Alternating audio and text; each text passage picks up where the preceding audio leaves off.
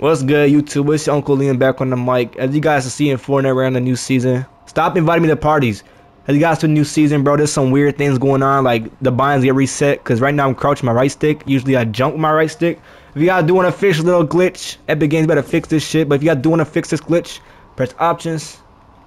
Okay, press options. All right, settings. Go down to your binds and just click any one of these.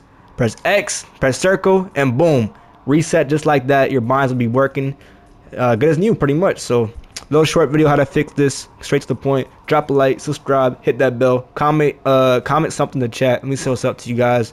Without further ado i'm gonna catch y'all boys next video. Peace